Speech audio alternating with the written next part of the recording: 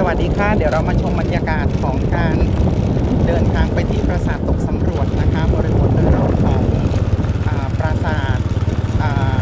เขาพนมรุ้งนะคะโดยรอบเขาพนมรุ้งเนาะก็จะเป็นเส้นทางแบบนี้ค่ะเป็นเส้นทางแบบไหนคะท่านอาจารย์คันคลองเมื่อก่อนเป็นเส้นทางเป็นทางเกวียนนะเป็นเส้นทางมาจากเขาพนมรุ้งไปสิ้นสุดที่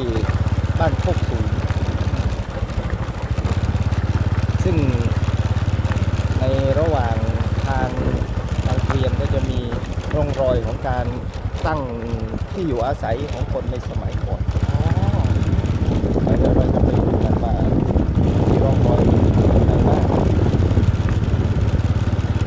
แต่สมัยก่อนเวลาไถนาเราก็จะเจอพวกวัตถุโบราณอะไรอย่าง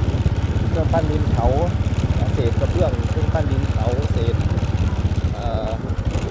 ของใช้ของคนในอดีตก็เยอะแยะพอสมควรเลยในบริเวณแถวๆนี้ข้างหน้าเป็นภูเขานะคะเป็นภูเขาพนมรุ้งนะลูกใหญ่เบ้อเลิศเท่าเลยแล้วเราจะบีบแตรให้กับหนุ่ม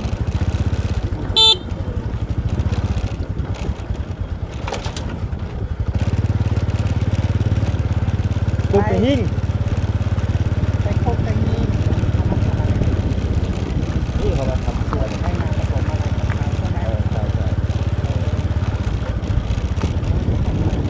กของงานเยอะ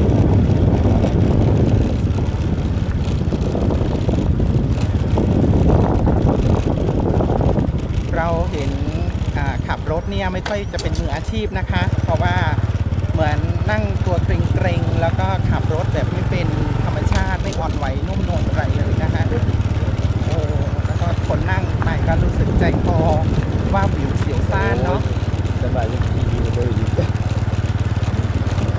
โอ้ สวยจังเลยนะ ถ้ามาดูอย่างนี้สวยมากเลยเนาะสวยมากเลย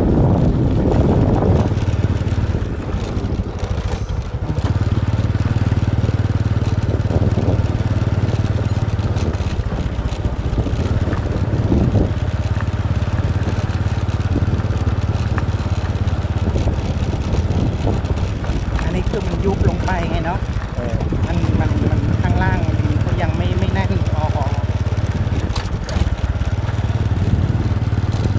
ช่วงนี้อากาศร้อนนะคะ โอ้ยกว่าจะได้มาซึ่งเออเขียนอย่างเดิมค่ะก็ให้เปลี่ยนตั้งแต่ขึ้นมาโน่นโน่นอะไรก็ให้เปลี่ยนเกียร์ตั้งแต่ขึ้นมาโน่นไอ้มันจะไหวอยู่ โอ้ยสงสารโน่นโอ้ยกูขนหมูมา ช่วยกูด้วย ช่วยเข้าใจกูด้ว นี่ ย จะไม่เป็นเจ้านี่เหรอไม้ตัดมันแล้วเราจะลงไป ไหนก็ไป อ่ามันมีที่ลงจอดรถข้างหน้า ก็ เคยพาพ่อไปแล้วไม่ใช่หรอก็ไป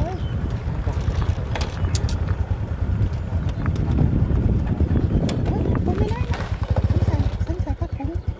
เออว่าถ้ามันเป็นอะไรไปคุณไม่เจ็บนะแต่ฉันอะ เกือบเอาชีวิตไม่รอดนะ